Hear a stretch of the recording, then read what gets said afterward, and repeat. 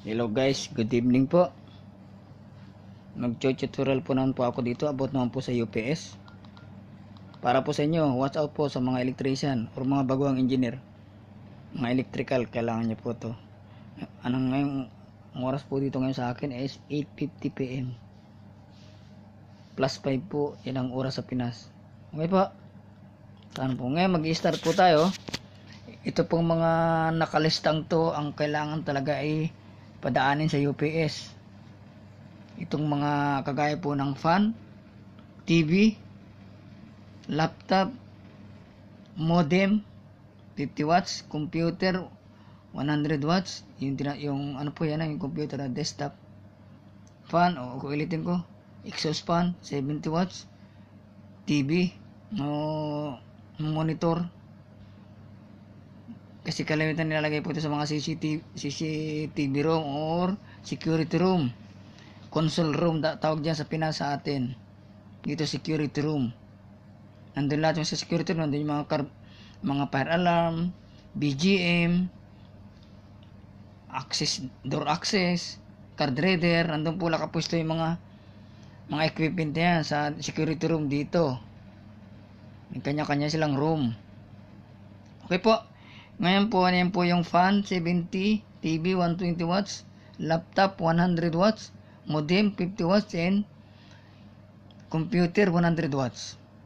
Ito po po, ang yan ako ituturo ko ngayon kung paano po computein or ibigay ang sukat ng UPS na para dyan sa mga equipment na binanggit ko. Ito po, 440 watts po, i-divide mo po sa 0.8, ang lalabas po niyan is 500, mali pa yung sulat ko, 500 kVA. Ha? 500 BA na lang to. Okay? Or KBA, walang problema. Karesa lang naman yan. Okay? Hmm. Okay?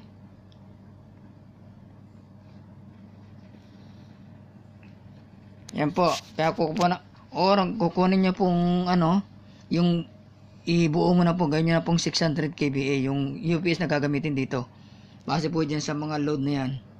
Kaya, at yun po, ituturo po yung single line diagram ng UPS. Ito po, meron po tayong uh, charger. Yan po yung from 220, papunta naman po sa battery.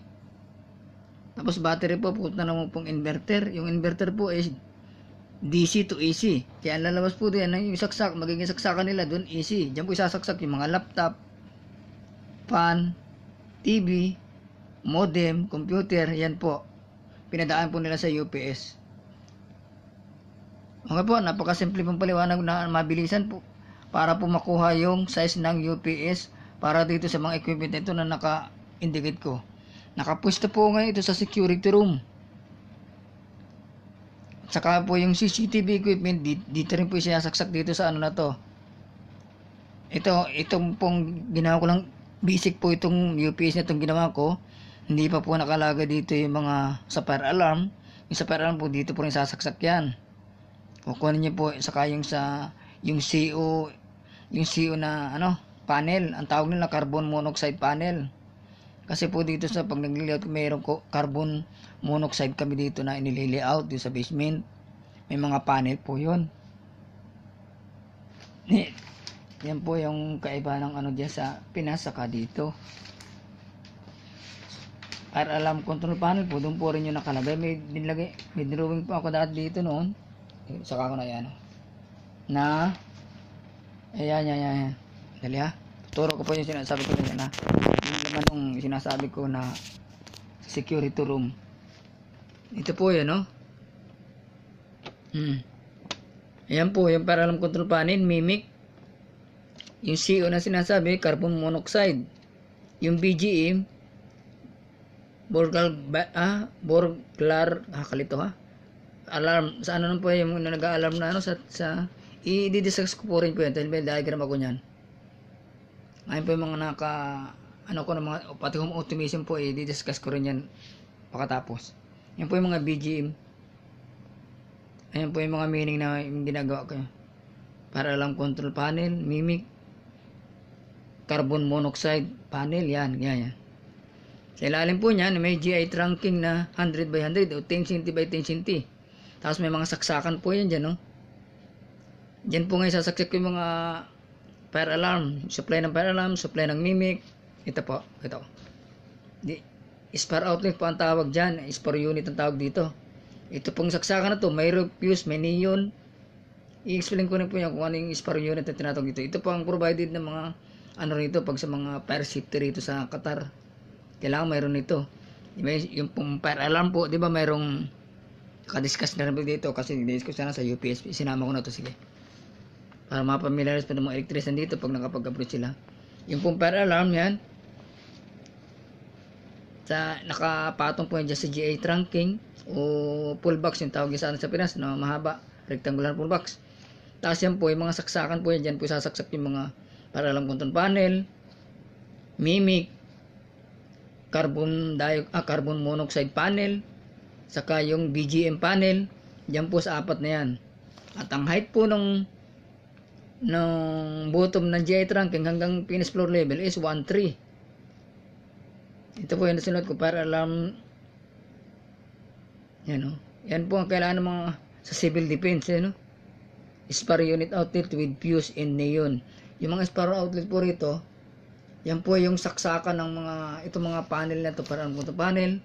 Pero may, sa looban niyo po yan, may fuse saka may may neon. Kasi pag sakaling po nagka-problema, ang bibigay yung fuse.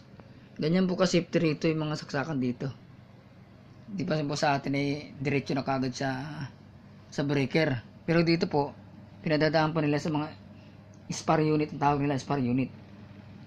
Okay po. Sana po naliwanag, naliwanagan po kayo pag, eh, pagpapaliwanag ko kung paano po kunin yung UPS dito para sa security room. At ito mga equipment na nakapaloob dyan, yan. Kung limay isasama ko po, po naman yung fire alarm, madadagdagan po yung UPS na value nito. Kasi para alam control ba, iba pa yung wattage niyan. Yung mimic, iba rin yung wattage. Yung carbon monoxide, carbon monoxide panel, iba rin yung wattage. Saka yung BG, iba rin po yung wattage. Diyan po yan yung mga yung nag-a-alarm, yung tinatagol ka na pag may nagkaroon ng sunog, yung magbawangwang, yan yung BGM ang sinasabi. I-explain ko pa rin po diyan sa sunod. Isa-isa lang po hanggang sa maka, makuha ko po lahat yan. Okay po. Maraming maraming salamat po ito pong explanation ko para sa basic force para sa UPS. Kung paano pong kunin yung UPS para dito sa mga equipment na to. Marami maraming salamat po para po sa inyo mga electrician. Good luck and God bless.